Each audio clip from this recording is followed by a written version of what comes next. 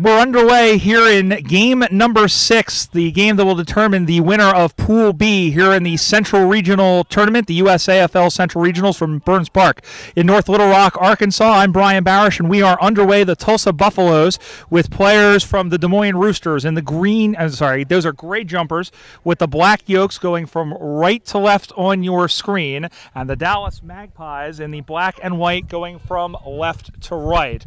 Both teams won earlier today over the uh, Baton Rouge Tigers combination. And that one is kicked in short off the top there. Here is Jortner Little give and go. There's a kick up on the way. That one will carry, and then all alone with the mark, he's going to play on and he's going to kick a goal. Where was the defense for the Buffaloes? They were probably out having a chicken sandwich, but in any event, Dallas has drawn first blood off the foot of Alexander Crampton. On the Little Rock scoreboard, Dallas one straight six. Tulsa yet the score. Dallas won 97 to 1 over Baton Rouge earlier in the game uh, that was the noon game, and uh, they really had uh, they really had the game by the throat for the most part.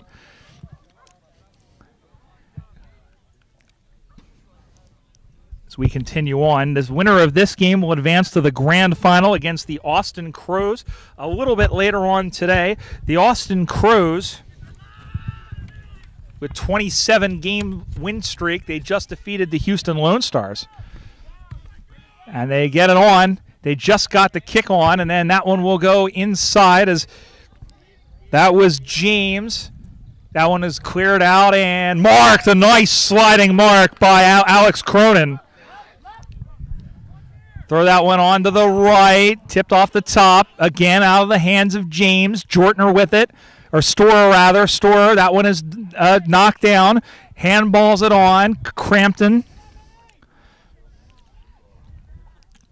and then still loose. And that one is picked up and kicked for a goal. That's right there, and it's there. Two in a row for the Dallas Magpies, and they've drawn clear. On the Little Rock scoreboard, it's Dallas 2 straight 12. Tulsa yet to score. Dallas won their second game, as we mentioned, fairly convincingly. Tulsa had shut out uh, Baton Rouge in their game, 28 to nothing. And uh, I would say it's not terribly uncommon in these competitions to see a team get completely shut out, but uh, considering the fact you know there's only four, the games are only 40 minutes. Oh, that's got to be holding the ball, and the umpire says no, and the the Magpies bench goes ape droppings as the ball comes back in the play.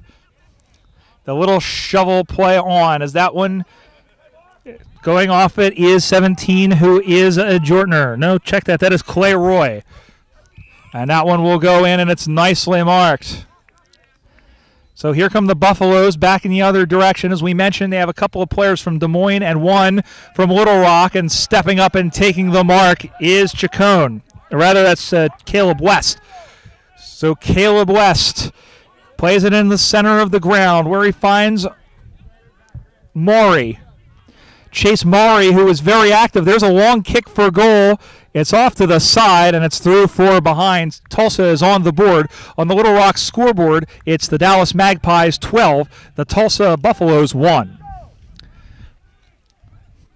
Ball will be put back into play from the goal square. Looking to the right looking for a lead. A stop by Tulsa would be very handy here. That one goes up. The pack forms, and that's exactly what they get as Andrew Raspold.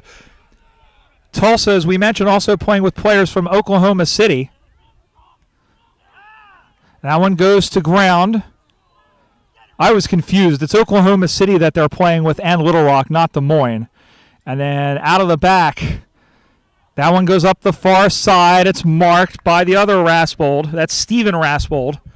They are twin brothers, and they play the same very well. That's going to get paid as a mark. Play on. Brazel throws that one on to the right. Goes inside the 40 meter arc, but a big defensive mark taken. Out there by the number three, who is Corey Colvin. Up on the far side here. That was up high, knocked away by Mowry. And the ball will skitter out of bounds, and it will be a boundary throw in. Again, on the Little Rock scoreboard, Dallas 12 on the strength of two straight goals. Ball comes spinning back into play. And it goes out of play again. Dallas is the number six ranked team in the USAFL top 20 poll. And they've bounced around in that uh, in in the in the top eight really each of the last couple of seasons. And they always they have a Division One side, and they always play the other D1 sides well, in spite of the fact that they they have been out of it. That's a great look for Crampton. Crampton will cut to the outside, throws that one onto the left, just gets down. Here's a throw. He's going to go that one into the middle. Marked! And he's going to play that one on quickly, and it's a goal. Second goal of the game for Martin Mondia, and Dallas is running away early. On the Little Rock scoreboard, the Magpies, three straight 18. Tulsa one behind, one point. It's a 17 point advantage.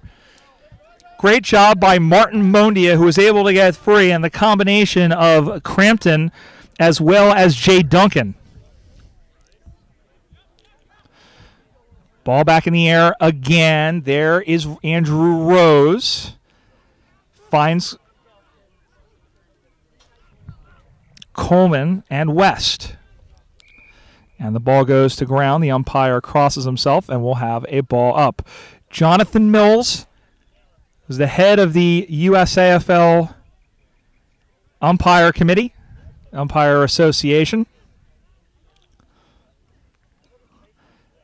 The ball goes to ground. Mondia's got it. He turns away, throws that one onto the left, and it is over the head, looking for Jortner. And that one is going to be scuttled all the way back. Crampton's going to run onto it. He gets his foot to it. Is it there? I didn't see a signal. Yes, it's a goal. Alex Crampton with another goal, and Dallas is running away. On the Little Rock scoreboard, the Magpies, four straight 24.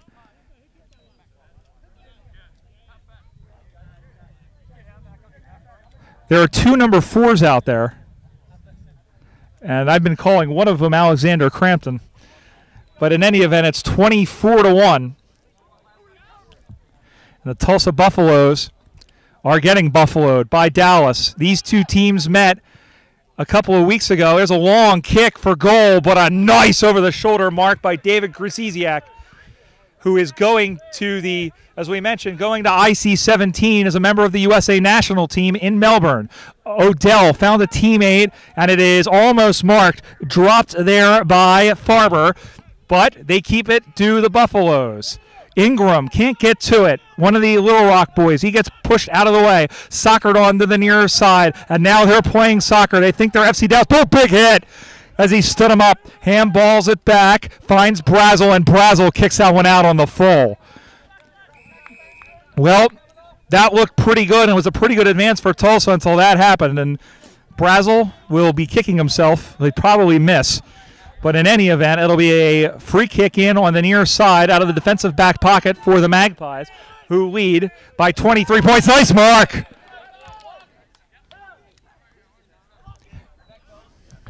Lachlan Beatty. Long kick up the near side. And it's marked defensively by Mowry. And now through the middle of the ground, Rose with a line drive. It'll break some fingers on the way through. Hood giving chase. Here's Grasiziak. Grasiziak runs around. It's like trying to catch Pac-Man. He handballs it back and then banging it out on the outside was the number 10 over there and the and uh, Mike Main, and the ball has gone out of bounds, and it looks like it's going out on the full.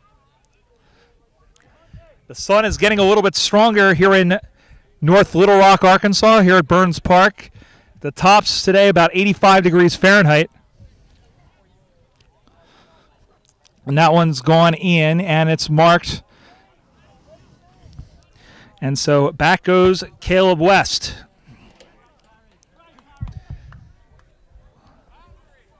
West goes into the middle. Farber Handballs it in. There's a kick. It's heading for goal. Is it there? Yes, it is. Tulsa needed that one. Their first major of the game. They're on the board. On the Little Rock scoreboard, Tulsa goes to 117. It's back to 17 points. Four straight 24 Dallas.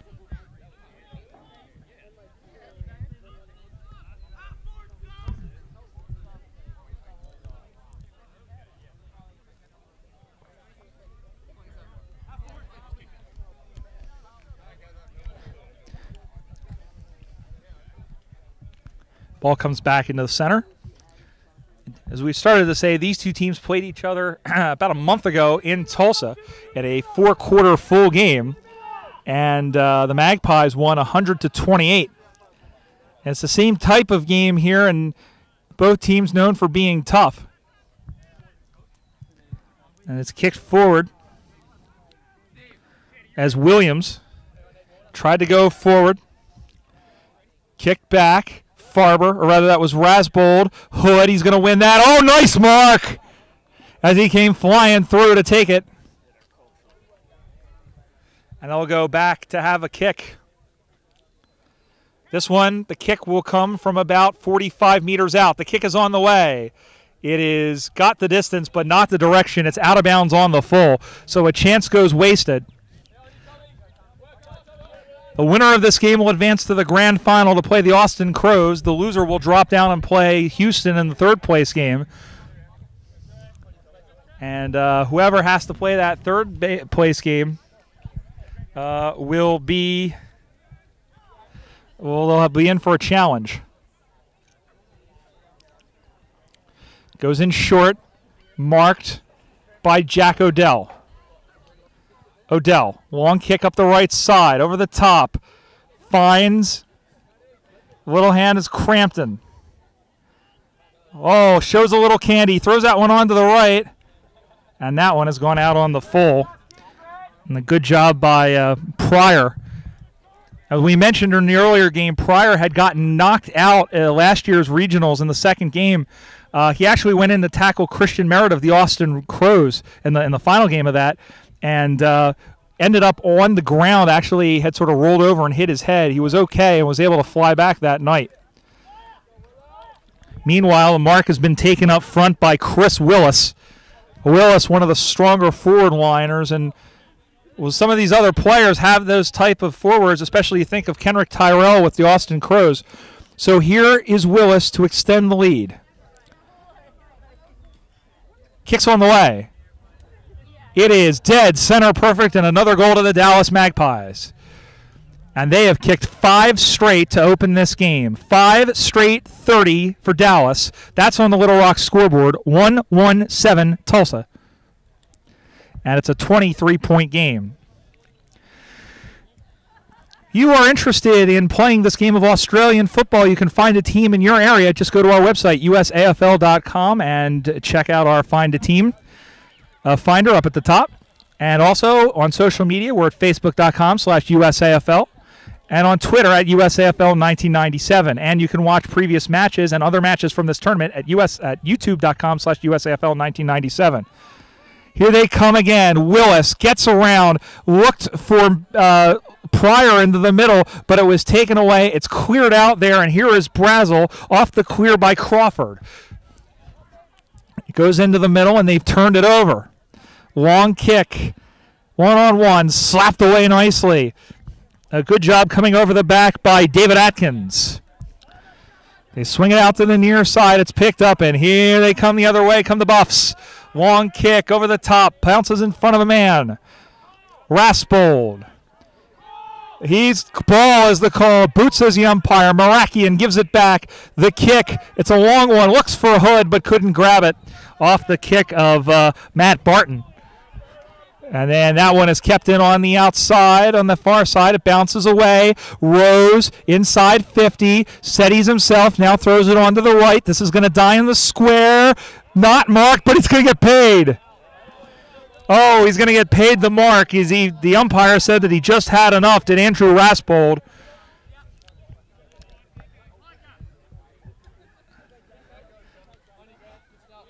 And this for their second goal. It's on the way. Did it get in? No, he missed it from right out in front. Well, that's not good eats. And that takes them to 1 2 8 1 2 8. And it's back to a 22 point game. So Tulsa 1 2 8 on the Little Rock scoreboard, 5 straight 30 for the Dallas Magpies. Tulsa has players from Oklahoma City who actually most of them had played with Tulsa before splitting off into their own club. Raspold to the other Raspold.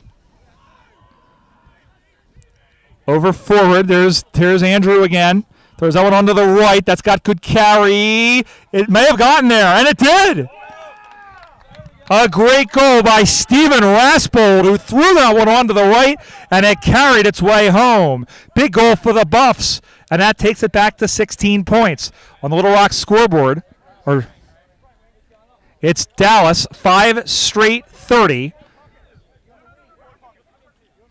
2 2 14 for Tulsa. As we are in the waning stages of this first half.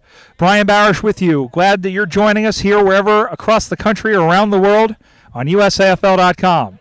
Ball goes to ground. Picked up by Storer. Kicked forward and it's marked. Willis again, who's becoming a little bit more active. Throws that one onto the right. It's going to go. Tracks over. That may track home, but in fact, it's going off to the side. And it's a behind. Another point for Dallas. That's their first minor of the game. That takes them on to 5 1 31, 2 2 14. It's back to 17 points. And then it's kept in by Pelletier. He plays on. They give it back. Compton. Crampton with a kick. Or check that. That may have been the other four and Jay Duncan. But in any event, it's another goal to Dallas. And the route is back on on the Little Rock scoreboard at 6 1 37. It's back to a 23 point lead over Tulsa, 2 2 14.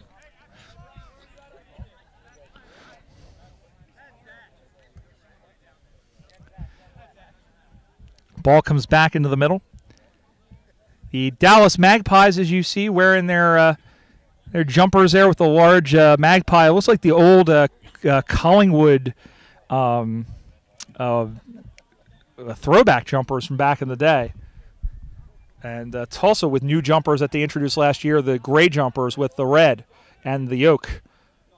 Marked by Alex Marakian, former Philadelphia Hawk, former Florida Redback. Kicked that one up into the middle, marked by Brazel. Brazel wants to probably try and go forward with time running out. Off the hands, but picked up cleanly. Main throws that one. Oh, swing and a miss. And then suckered on by Raspold.